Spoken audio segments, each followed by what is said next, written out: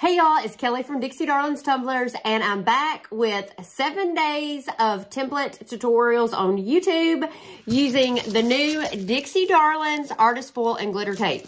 So shameless promo on my part. I apologize y'all, but I'm so excited about this. Y'all know I use a ton of this double-sided adhesive tape. And so I'm really excited to bring y'all a week of tutorials. So the first one I'm going to do is actually today is going to be the beach tutorial and I'm using all foils. So it's this beautiful template that's like the sunrise with the beach and the palm trees. And I'm going to use a whole variety of foils. And then Cindy at Southern Belle Glitter also got these very thin abalone shells in. And I thought they would be the perfect touch to the sand part of the beach tumbler. So that's what you guys are going to see me do today. I've got a fun, another one coming tomorrow. So I hope that you guys enjoy it. And please, like I always say, join my Dixie Darlins Tumblers Facebook group. That's where I go live on Sunday nights. We've started doing Fun Foil Friday again, which we used to do every Friday. Now it's kind of randomly, but I'm trying to reinstill it into every Friday. So y'all join me over there. Please check out all my other tutorials. There are a lot of them that have been done over the past year using these double-sided adhesive sheets if you're not familiar with a lot of different ways to use them.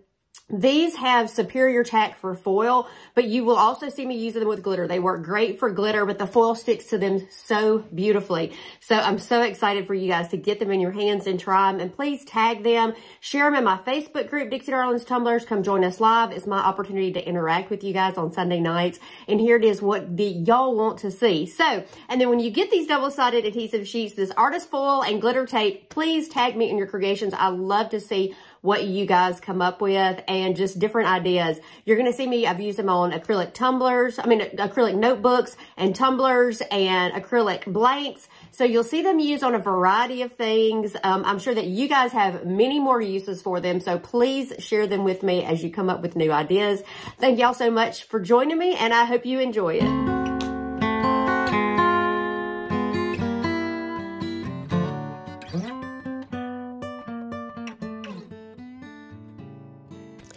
Okay, y'all, I'm starting today with a 20 ounce skinny straight from Craft Haven. I've sanded my cup and I've spray painted it.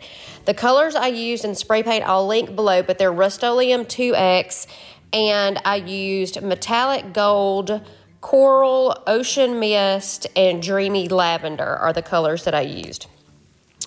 Um, and now I'm going to apply my artist foil and glitter tape and I have cut it on my Cricut. I will do a more in-depth tutorial on this.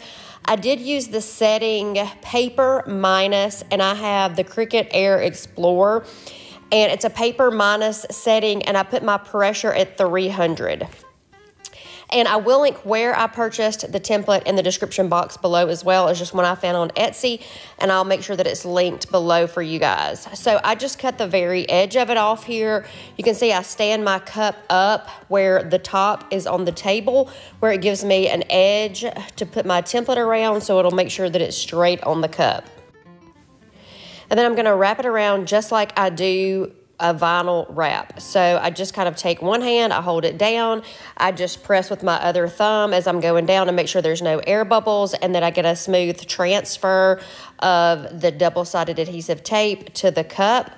And then you can see I'm trying to make sure at the top and the bottom that I'm getting smooth as well. And then I just let the backing of this artist foil and glitter tape come off as I'm placing it around the cup.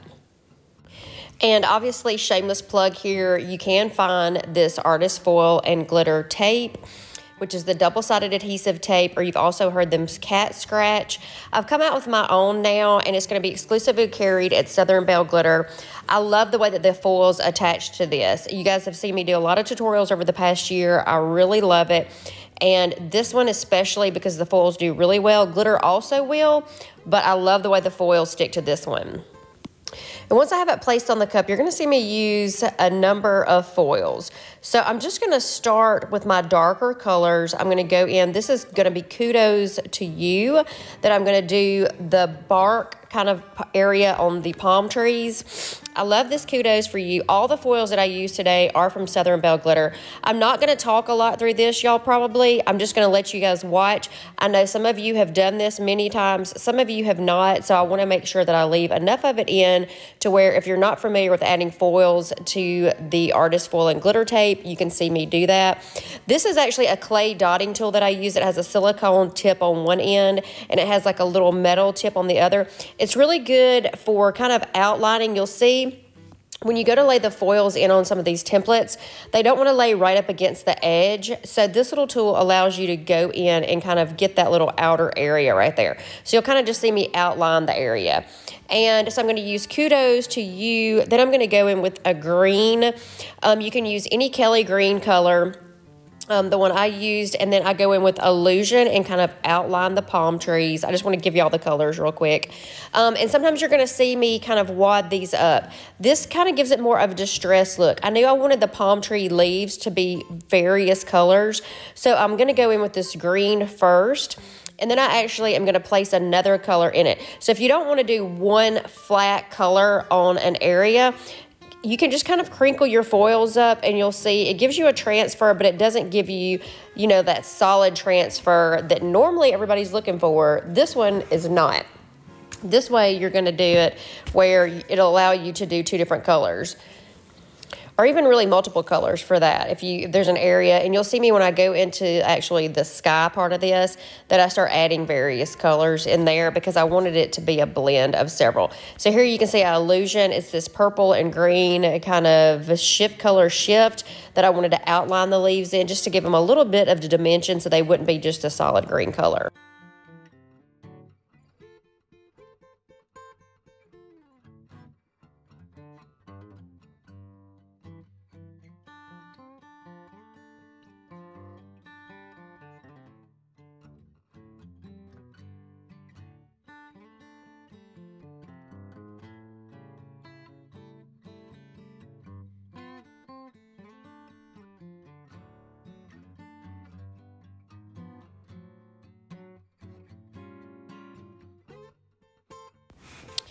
And now I'm going to go in. This is called Ice Queen. Love this color, y'all.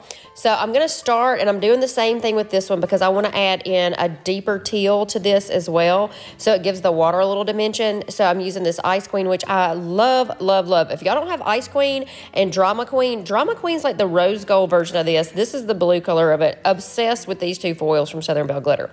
So you can see I've crinkled it up, and I'm just applying this one and then it's going to give me some creases where I can go back in and add a deeper teal. I'm going to use this other teal here. You can use a teal cascade, I think, which was this color. I'm not sure it's available now, but there's a really pretty chameleon that you can use as well. Um, and then there just there's a blue bubbles. There's several different options that you can kind of layer in here to make the water a little three-dimensional. And then you can see I'm just taking my tool and I'm to go in in and just add little areas of it. Then I'm to go in for the beach and I'm going to use Holo Gold and ice, no, Holo Gold and the drama queen that I was just talking about. I'm going to layer these two in there. So you're going to see me layer both of these. This is the drama queen. Oh my goodness. You can't even see how pretty this one is in this, using it in this aspect, but it just adds a little sparkle down there. So I wanted the Holo Gold, but I didn't want it to be a solid coverage. So crinkled it the same way and left a little open areas to add this little sparkle down here that Drama Queen creates. And I actually end up adding these two to the bottom of the cup you'll see later. And then I do use the Drama Queen right here for the sun. I'm obsessed with this color. Sorry. Okay, I'll move on now. So then I've got my clouds. I'm just going to take a white here. This is just a white foil. It almost looks a little powdery. And I'm going to add some of these abalone shells that I've got from Southern Belle Glitter over the top of this. So you'll see me do that in a minute. Now I'm just, I left this in so you guys could kind of see some of the colors I'm using. Here we've got the copper raindrops and purple, let me think about this, y'all, purple streamers. and then there is the pink Too Faced, which I'm obsessed with too. So you're going to kind of see me layer these in. This is the Too Faced. It's like a really pretty silver and pink mix. And then the purple streamers Um, just added a little bit of that to the bottom for the sunset. And then you're going to see me go in with this copper raindrops. I thought it would just kind of be the perfect little top off of the cup to add kind of that golden orange look to the sunset. So I just did this in pieces because I wasn't sure exactly. Sometimes y'all, when I start this out, I think I know what colors I want to use, but I want to make sure that they all look good together. So I usually start in a little area um, when, especially if I'm blending some together to kind of see how they blend, see if I really like those colors together or not. Um, so that's why you're going to see me kind of do this. You could definitely do the whole area at one time. I tend to make a mess that way and end up getting other stuff stuck to my double-sided tape there my artist foil and glitter tape. So I try to do little pieces of it at a time and just make sure that I can blend them well. So that's really my only reason for doing it that way.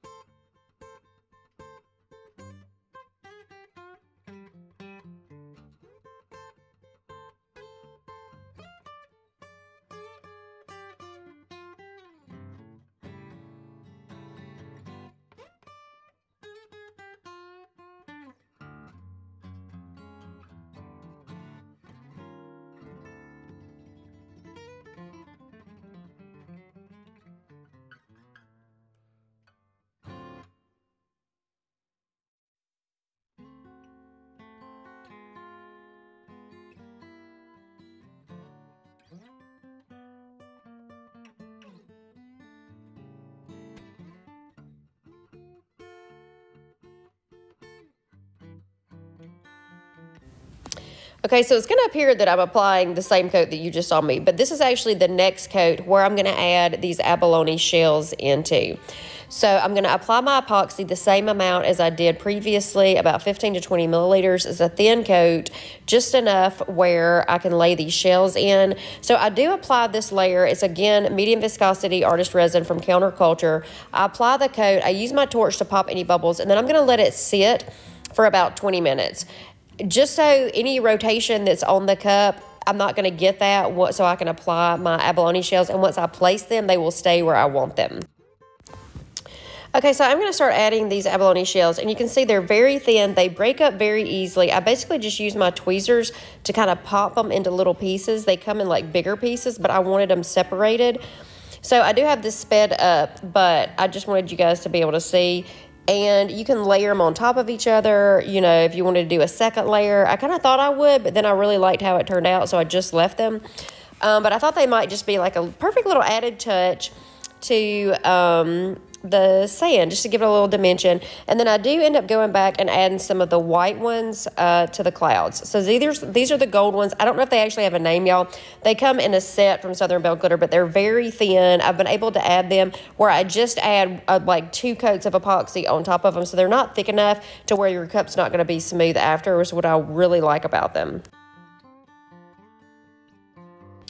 And after I let that coat dry about eight hours, then I'm going to go in with another layer of medium viscosity artist resin just to give that one layer of coverage because I am going to go back in with some adhesive and cover the bottom with the Holo Gold foils and the Drama Queen. So you'll see me do this afterwards. It's definitely something that can be done before. I just decided that I wanted a little dimension afterwards. So I put a layer of epoxy in between. This is Counterculture's medium viscosity. Again, it's 15 milliliters and I let this dry about eight hours. So now I'm going to add this to the bottom after I've let that coat of epoxy dry for about eight hours. This is the Southern Belle Glitter Foil Adhesive. Um, this is the, my go-to adhesive. I'm just brushing it on with a cheap little paintbrush here, making sure the bottom's covered, and then I'm going to come up around the edges, you'll see, just so I can make sure that it blends in, and then it's just going to give it a little depth to the bottom um, since there are a couple of layers of epoxy in between there. The main thing on the adhesive is I just try to make sure there's no areas that are white. If you can see, I'm just going to kind of try to brush it out where it's as smooth as possible. Those little areas that don't dry clear like that are kind of tend to be where the foil doesn't stick if anybody has problem with that. So you definitely want to let this dry till clear. Because I'm impatient, I don't usually sit and let it dry. Um, I usually take my heat gun and dry it myself so I can go ahead and add the foils. Then I'm just going to go in with my Holo Gold. Sorry, I was a little off kilter here, y'all. but I'm just going to add my Holo Gold foils. And I know that I'm going to go back in with the Drama Queen and touch it up a little bit. So I just kind of did a rough edit on these here. And then I'm going to go back in with the Drama Queen. And just any of those little areas that didn't get filled in, I'm going to add the Drama Queen to them.